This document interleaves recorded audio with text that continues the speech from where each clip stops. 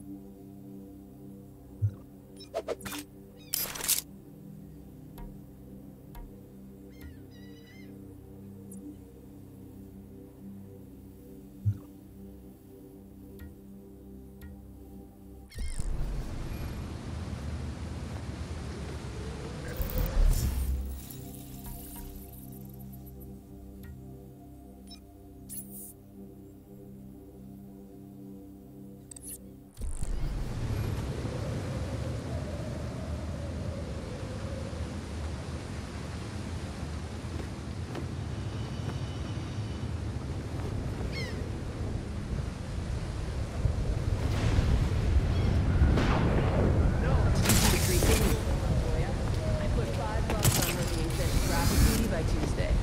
like a long shot, though.